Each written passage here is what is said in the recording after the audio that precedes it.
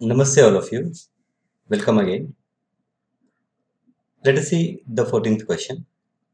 In the given figure ABCD, ABCD is a parallelogram and E is the midpoint of AD. A line through D drawn parallel to EB meet AB produced at F and uh, BC at L. Okay. Uh, prove that AF is equals to, we have to prove that AF is equals to 2 times DC and uh, second we have to prove that df df is equals to 2 times d okay. So let us draw the diagram. So here af is equals to we have to prove 2 dc and we have to prove that this df this is first part. And second part we have to prove that df is equals to 2 times dl So what we can do to prove it? Let us take the triangle AFD. So in proof I will say in triangle AFD in triangle AFD E is midpoint of AD and BE is parallel to DF. BE is parallel to DF. So therefore, by midpoint theorem, midpoint theorem, I have this BE.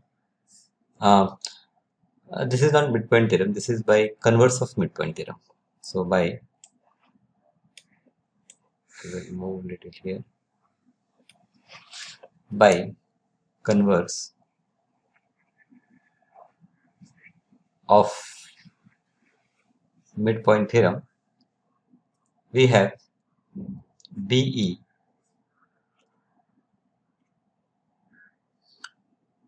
equal to half of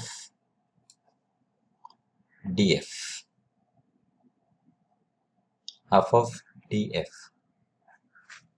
right? Okay this we will consider equation 1 by converse we got this. This is equation 1 i will just shift this diagram little down so that every time we need not have to up okay. Now this be is equals to half of this df now i will consider in quadrilateral BLDE in quadrilateral BLDE. Now in this quadrilateral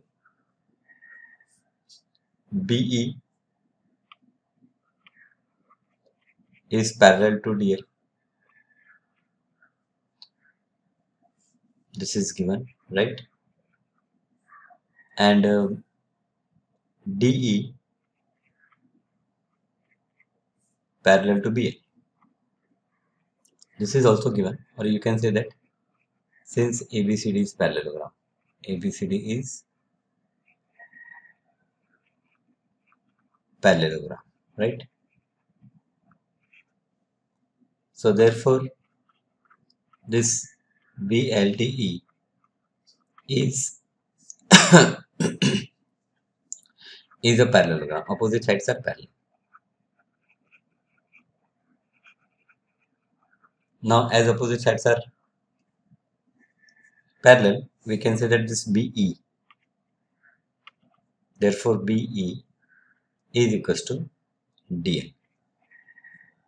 This I will say second equation. Now BE is equals to DL. So in place of BE, I will put DL in equation 1. So therefore, I will say from 1 and 2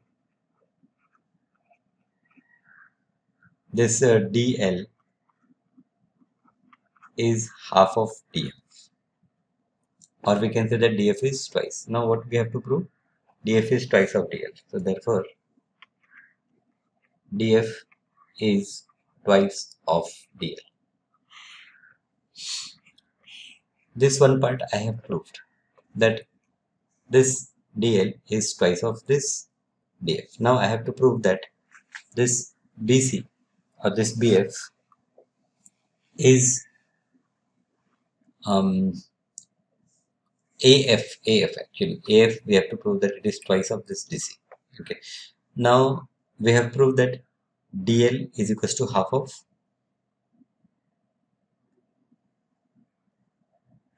half of um, by midpoint theorem we have proved. Okay, by midpoint theorem I can also prove that this point B is the B is the midpoint of this AF, right? We have proved that this is parallel to this so this is going to be half is the midpoint and we have drawn a parallel so it is going to be half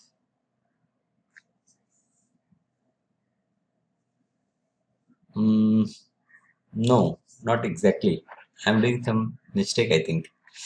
By converse of midpoint theorem midpoint theorem is that if i join midpoints of two sides okay then it is equals to half okay. And uh, converse of midpoint is that the third side third side is divided at midpoint. By converse of midpoint so from here okay I have to change little bit.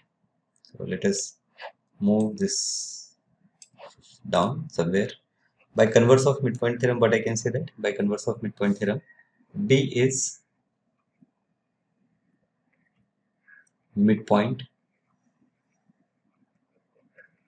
of AF. We have taken triangle AFD. AFD, okay. So B is the midpoint of AF. So therefore, AB, therefore you can say that this AB is equals to half of AF. AB is half of AF, therefore, now as AB is half of AF, I can replace DC in place of AB. Therefore, DC is equals to half of AF. Reason I will say that DC is equals to AB. Because this ABCD is a parallelogram, right? So, the first part we have done. We have to prove that DC is twice of AF. Okay, so therefore AF is twice of DC. Okay. So therefore, I will say that therefore AF is twice of DC. AF is twice of DC. So this is our first part we have proved.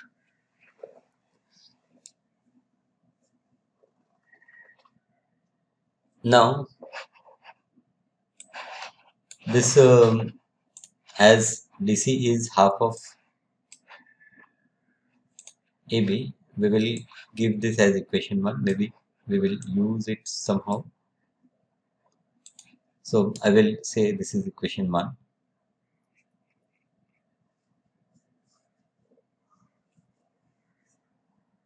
now this BF AB and BF AF is what AF is AB plus BF. So in place of AB, I can say DC or AB. Okay, so this I will say that this is DC. AB is equals to DC. Okay, we know. And this AF is 2DC and here we have plus bf from 1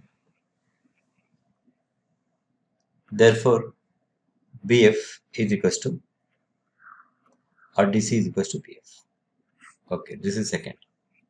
So we proved that this bf part and then this dc part they are equal in length now that will help me to prove that this or, or, or, or else actually it is not required to prove right I can prove that this df is twice of this DL by taking these two triangles and proving that they are congruent. Okay, that is one method. A second method, what I have done is perfectly alright. Now, what I have done that uh, now I will again take triangle A AFD. Now in triangle AFD, E and B are the midpoints. Therefore, by midpoint theorem, okay. So I will now take in triangle in triangle AFD E and B are midpoints of E and B are the midpoints of AD and AF. Therefore, by midpoint theorem,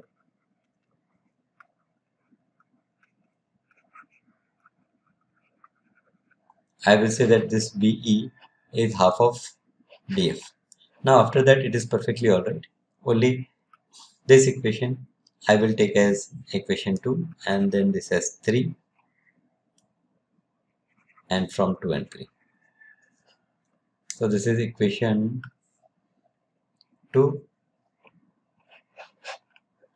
This is equation 3 and this is from 2 and 3. The second part is also done. Okay, quite difficult. 14th question. 3 marks question. Now 15th question. D, E, F are respectively the midpoints of the side AB, BC and CA respectively of the triangle ABC. Prove that the joining of the midpoint D, E, F of the triangle ABC divide it into four congruent triangle. AB, BC and CA. Okay, D, E, F. Fine. So again, in the 16th question, this is our question number 16. We will take triangle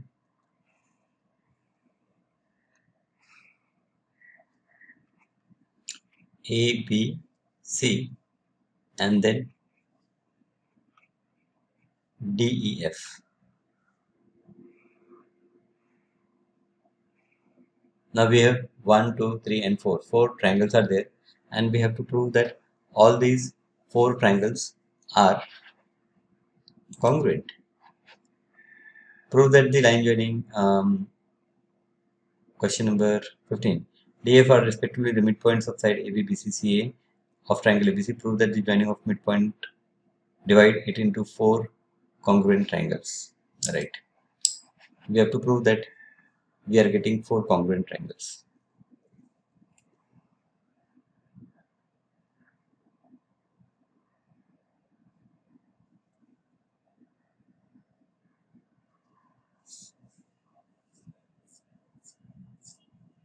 So are they exactly identical? Now as this DE, DF, DE, D and E, they are the midpoints. So by midpoint theorem, what will happen? That this side DE, okay, this side DE is going to be half of this AC and as F is the midpoint, I will say that this part is equals to this part is equals to this part. Okay, so these three parts are equal. Now in the same way, you can prove that this side is equals to this part and this part. Very good. And third, we will be able to prove that this side is half of this BC, so it will be equal to this part as well as this part. Now if I take triangle ADF, in this I take this ADF and then this DBE. In these two triangles, I can say that by side, side, side, these two triangles are congruent. Then I will take this triangle and this triangle let us take. I will again by side, side, side will prove that these two triangles are congruent. Then I will take this triangle ADF and I will take triangle this. Okay. And by side, side, side, I will prove that they are congruent. So I will get three equations in which this is congruent to this the first triangle is congruent to this second triangle this first triangle is congruent to this third triangle and then this first triangle is congruent to this fourth triangle so therefore from 1 to n3 1, 2, 3 and 4 are the congruent triangles. Have you understood what I discussed? Okay, so I am not writing. The writing part you do. It is little lengthy, but you understand how you can prove that these four triangles are congruent triangles. Yes, fine. Okay. Now, next, 15th question. D, E and F respectively are the midpoints of A, B, B, C and C respectively. Uh, okay, this 15th we have done, no? Okay, 15th. This was 15th problem, not 16th. 15th, okay. Now let us see the 16th question. 16th question. If ABCD is a quadrilateral in which AB parallel to CD ABCD is a quadrilateral in which AB is parallel to CD and AD is equal to BC AD is equal to BC then prove that angle A is equal to angle B. Okay so this is isosceles trapezium. Again isosceles trapezium right? Only one pair of side is given parallel. So don't assume that the second pair is also parallel. Otherwise you will not get the required answer. The diagram will be something like this. Okay. A b c d. Okay. So what is given? That ab parallel to cd and AD is equals to BC. This is given. And you have to prove that this angle A and this angle B is equal. So for that what you can do? You can extend this side. Isosceles trapezium you know how to prove. You extend this side and draw a line from B parallel to AD. So just do this construction okay and uh, say this is point E. Now this ABED is a parallelogram as these two sides are parallel these two sides are parallel. Okay so opposite angles are equal. So this angle and this angle is going to be equal. Vertically opposite angle of parallelogram. Then this angle means if I take this angle as x so this angle will also be x. Okay. Then this side AD and this side BE they will be opposite sides so they will be equal in length. Also AD and BC is given equal. So therefore if you see triangle BEC in these two triangles these two sides are equal. So their opposite angles are going to be equal. So opposite angle of side this BC is angle E which is we marked as X. So for BE the opposite angle C also be marked as x. Now this DC is parallel to AB. So this angle ECB and angle ABC they are vertically uh, sorry they are alternate angles formed by two parallel lines. Okay. So now if you see this angle A and this angle B both are xx. So done. We have proved that the base angles are equal when one pair of opposite side is given parallel and other pair is given equal. Right. So for this uh, you should avoid the condition of a parallelogram. If you take a parallelogram then your base angle may or may not be equal. 17th question is prove that the line joining the midpoints of the diagonal of trapezium is parallel to the parallel sides of trapezium. Prove that the line joining the midpoints of diagonals of trapezium is parallel to the parallel sides of the trapezium. Okay, 17th question.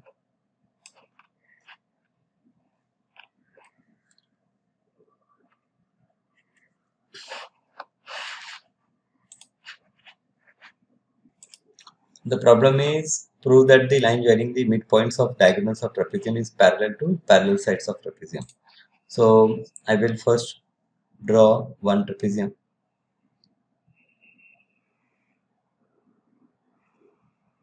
something like this. Okay. Now I have two diagonals. Um, better I will not uh, draw a diagram like this. Okay I will take a trapezium something like this. So this is my smaller diagonal and then this is my longer diagonal. Here I have to take the midpoints of diagonal. Therefore now the midpoint of this diagonal will be somewhere here and midpoint of this diagonal will be somewhere here. I will join them let us name it as A B C D. And this point as E and this point as F and let us take this point as O. Okay. Now I have to prove that this EF is parallel to AB and this EF is parallel to DC this we have to prove. So what we do? Big question. What we do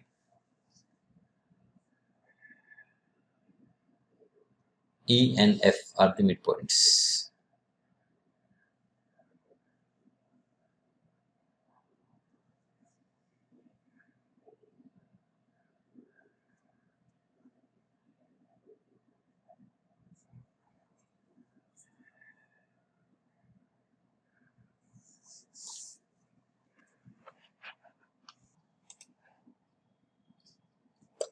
I am finding myself uh, clueless in this particular problem what we should do. Okay so uh, in comment let me know how you think that we can solve this problem. Okay so try this problem and uh, i will see you in the next class with few more problems and if possible we will discuss this problem also there. Thank you